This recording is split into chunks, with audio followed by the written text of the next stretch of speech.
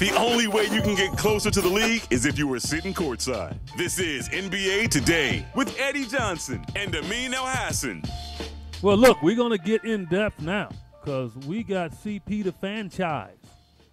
That's right. He knows everything about the New York Knicks, and we're just so happy to have him because, you know, CP, we've been going back and forth for the last two days on what's going on with the Knicks, and obviously we're listening to all the analysts, you know, nationwide and, and their thoughts and their process. But you've done a tremendous job. You're a new host for SiriusXM now as well, and glad to have you on board. And uh, so, you know, we're interested to know what's going on because yesterday, I'll just start the first question. You know, yesterday you signed R.J. Barrett, Yeah. and we thought that that would be a part of the trade but I guess back against the wall, or maybe the Knicks thinking that they were never going to give him up. Uh, what's your thoughts on that?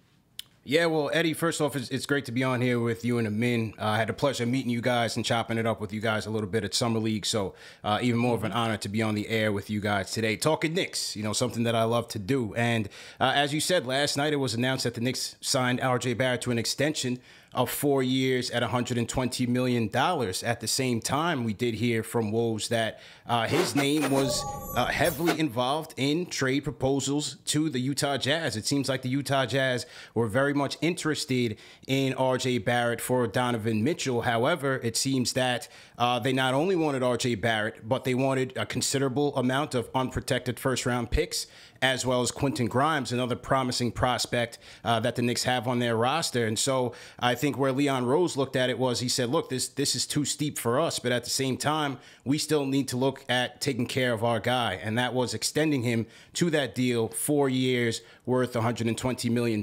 Now, they didn't give him the full rookie max, which was five years, 193 with, with incentives and bonuses. But four years, 120 is a number that I was comfortable with. It's one that I thought that he would get in terms of uh, the annual salary. And so he could still be a part of a trade to the Utah Jazz, but it, it's a bit more complicated because of what's considered the poison pill clause in his contract, which would uh, necessitate uh, the Knicks going out or, or, sending out an additional $26 million in salary and having about 10 million to take in. So it's a bit harder of a trade to make, but it's still possible. All right, Yeah, cool. One of the things I've been asking is everyone's been talking about how a Donovan Mitchell trade can happen. What are the picks? What are the players involved? No one seems to be stopping and asking the question, should a Donovan Mitchell trade happen? And what I mean by that is the Knicks went to great lengths to go out and get Jalen Brunson, who is a uh, a lead guard and, and a ball dominant guard, and a guy who part of why he left where he was was because that wasn't a role he was going to get to play as long as he played next to Luka Doncic. Comes to New York and we get the fanfare and everything. Was happy he's coming home and all that, and feels like barely a couple weeks into it, the Knicks say, "Oh, let- let's get that other guy who ball dominant and all that." So let me ask you this: Given that Jalen Brunson is here, should the Knicks even want to get Donovan Mitchell? And that's not a knock on him, but as far as just a fit with this roster, You know, it's a great question because it is a tricky fit bringing in a Donovan Mitchell here. And depending on what you have on this roster, if you're saying that maybe they still have Julius Randle and RJ Barrett, or combined with the Jalen Brunson, that's a lot of mouths to feed in that starting lineup. Mm-hmm. But nevertheless, I truly believe that when Leon Rose signed on for this job, that Donovan Mitchell was his primary target. That is his guy. They did hire Johnny Bryant from Utah as the associate head coach, not just the assistant coach, the associate head coach, a guy who's worked hand in hand with Donovan Mitchell, Damian Lillard as well. Many expect him to maybe be the heir apparent to the head coaching job should Tom Thibodeau uh, be fired or step down. They also hired Walt Perrin from the Utah Jazz, a guy who had a heavy hand in building that team from a scouting perspective over the last 10 years or so. So all those signs kind of pointed to Donovan Mitchell really being the target here for Leon Rose. And Jalen Brunson is another guy who's part of that Leon Rose CAA family. Uh, they just signed Rick Brunson as, a, as an assistant coach. But, you know, they, they're in a pivotal situation here where they have an ability to go out there and, and get their guy, a three time All Star, 25 years old. They know that the Utah Jazz are rebuilding. They just sent the Stifle Tower Rudy Gobert to Minnesota. It is a tricky fit, but these opportunities, I mean, may not present themselves but so many times for Leon Rose during his tenure here with New York. You know, they came in here, they've been drafting well, they've been acquiring additional draft picks, but they came in here to get that star. And I think this is what Leon Rose is going for. You just said the key word, get that star. And we've seen the Knicks over the years get exuberant and aggressive in wanting to get a star because you're in New York and you think that's the way to make it happen.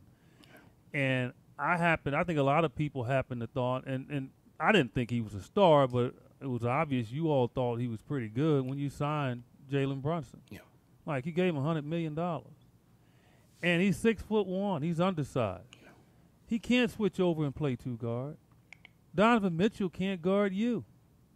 Let's be honest.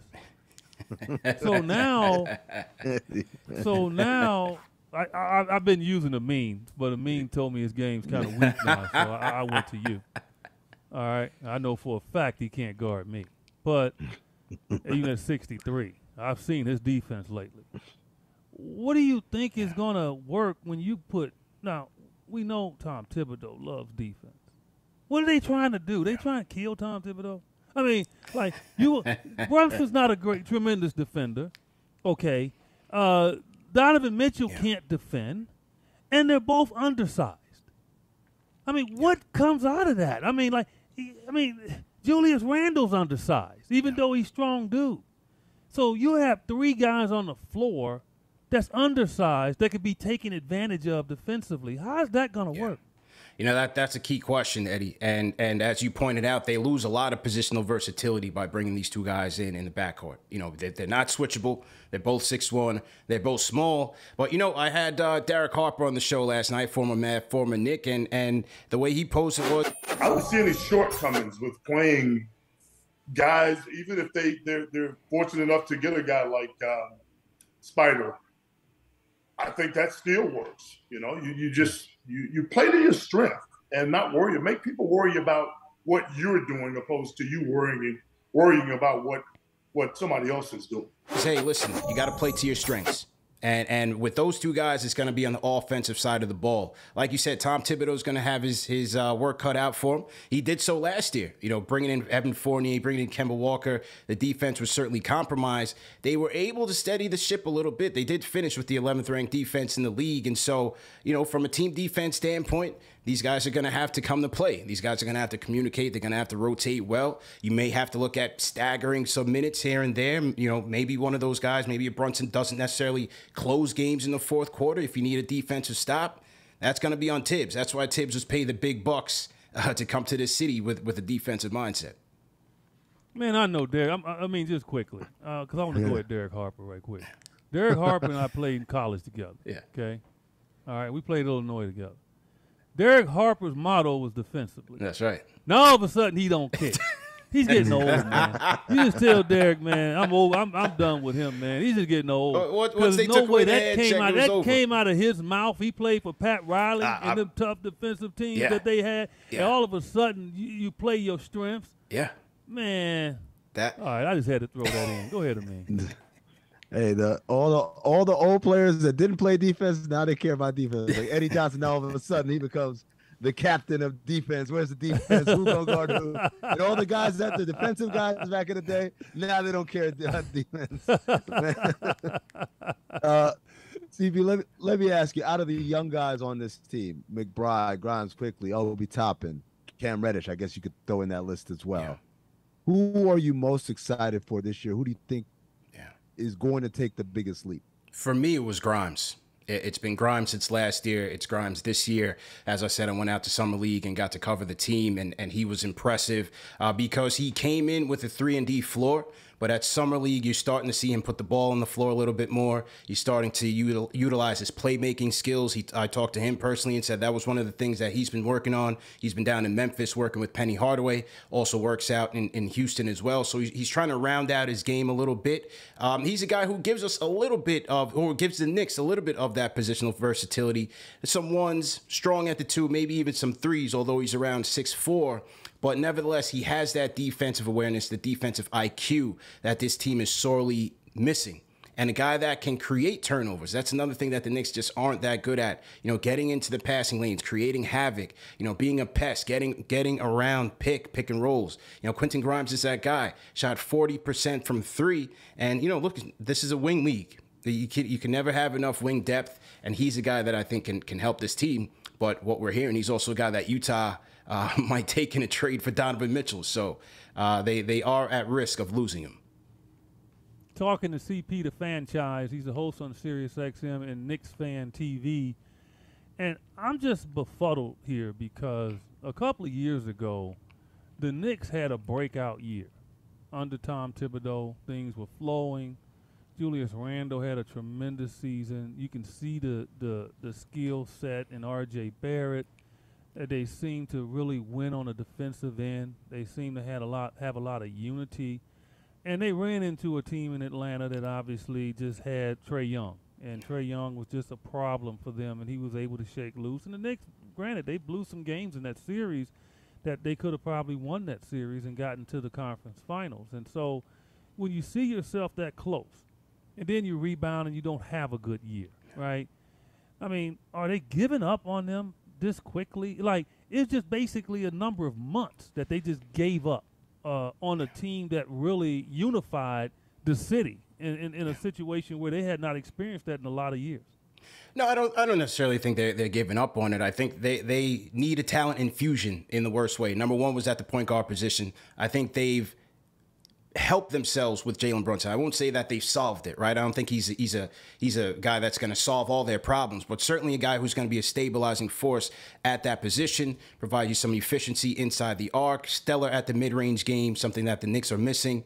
And so he, I think he's he's going to be able to solidify them at the point, and then potentially getting Donovan Mitchell. Well, one of the things about that year when they made the fourth seed, Derrick Rose had a big hand in, in their success. You know, getting Derrick mm-hmm. Rose at the trade deadline, him yes. really stabilizing that second unit, bringing the young guys like an Obi Toppin and Immanuel Quickley together, and really helping them be better mm-hmm. pros. Derrick Rose was solid for that team. It's just you know when they faced the Hawks, they were so exposed in that they became one dimensional and none of the supporting cast around RJ Barrett really had the ability to put the ball on the floor and make plays for themselves. You know, Derrick Rose ran out of gas. Julius Randle, you know, he was a deer in the headlights, and then the Hawks really exposed him. And so they went out, they tried to get Kemba Walker, Evan Fournier to address the offensive woes, get guys who can create, who can score, and it didn't work.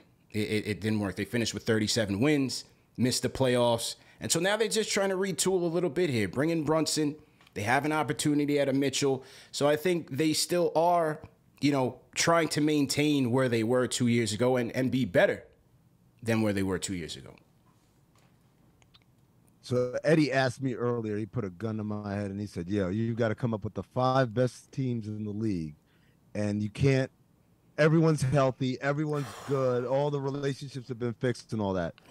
So uh, it's a hard exercise because there are a lot of good teams and a lot of improved teams as you look around the Eastern Conference and all the improvements that are happening around the Knicks, where do you see? What do you think is a realistic finishing point for the Knicks where they can say we had a good season? You know what? I think they're still battling for a play-in, even if they get Donovan Mitchell. Honestly, I think they're still battling for a play-in. You got to look at Boston, give them their respect. I thought if uh, if Khris Middleton was still healthy, I thought Milwaukee would have taken it all. So I, you still have to put them in there. Philadelphia has retooled. I think the Nets are going to be dangerous. You know, with, with Simmons and, and KD, Kyrie, they solidified their bench. TJ Warren, a guy that you like, Eddie, uh, off of that bench. They're shooting as well. I think you have to respect the Nets. Obviously, Miami. You have Cleveland, who made a strong case last year. Toronto's in that mix. And Atlanta. You know, that's eight. that's eight. Atlanta with the, the Dejounte Murray. So I still see the Knicks, barring injury or, or just, uh, you know, stellar season, I still see them battling for for a playing spot. Man, congratulations uh, for joining Sirius XM. This is CP the franchise. The I guess franchise. we're going to see a lot of you, and uh, Knicks fan TV as well. I got it right now. See, I called you the franchise when you first got on. Yeah. Before you got on the show, well, you're the franchise. The franchise. Okay? And uh, you do a great job, man. And, and congratulations for being on board and obviously we'll hear a lot from you uh, this year. So uh, good luck. Go Knicks. Thanks a lot, fellas. Pleasure to be on, and uh, looking forward to working with you guys. All right, Yes, sir. take care, my man. Yeah, that's uh, that's some good info there uh, on the Knicks. and Thanks a lot. I just want this. Yeah, I I just want this to be over. Yeah, like just yeah. let's make make it done and, and get it done and and and we'll be there. As we only got 20 minutes left in this show, I mean, I'm gonna tick you off even more when we come back. I don't know what I'm I'm tired. gonna I'm tired, Whatever Eddie. it Come on, man. Whatever it is, I'm gonna tick you off. That's what I'm gonna do. Eddie Johnson, Amin, El Hassan. We'll be back.